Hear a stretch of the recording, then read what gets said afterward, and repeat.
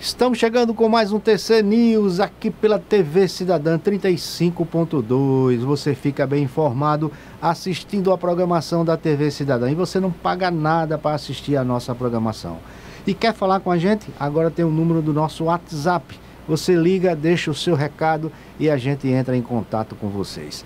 TSE no combate à desinformação. O combate à desinformação é um dos compromissos da gestão do ministro Luiz Roberto Barroso ele enfatiza o papel da justiça eleitoral em assegurar a democracia brasileira. Tem feito um papel importantíssimo o TSE em combater as fake news. Vamos assistir esse pronunciamento do ministro. A democracia é feita da livre circulação de informações, ideias e opiniões. A liberdade de expressão é uma das grandes conquistas da civilização. A partir dessa livre circulação de notícias, as pessoas formam suas convicções, fazem suas escolhas políticas e participam do debate público. As pessoas têm ideias e opiniões diferentes. Essa é uma das belezas de se viver em um país livre. A vida tem muitos pontos de observação e a verdade não tem dono. A democracia não é o regime político do consenso, mas sim o da convivência civilizada de pessoas que pensam diferente. E quem pensa diferente de mim não é meu inimigo, mas é meu parceiro na construção de uma sociedade aberta e plural.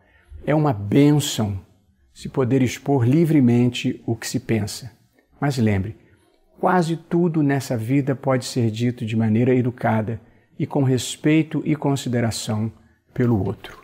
Seja agente do avanço civilizatório e da evolução ética que o Brasil precisa.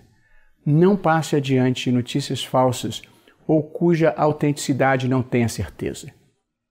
Não participe de campanhas de ódio. O mal faz mal mesmo, é quem o pratica. Uma causa que precise de mentira, de ódio ou de agressão não pode ser boa. Pense nisso. Numa democracia, todos têm direito à voz e a voto todos têm o mesmo valor. Não desqualifique ninguém. Jogue limpo. Ajude a fazer um país melhor e maior. É isso aí, o ministro tem razão, né? A gente tem que procurar as fontes que você sabe que tem segurança. Quer dizer, notícias falsas só traz prejuízo para a nação.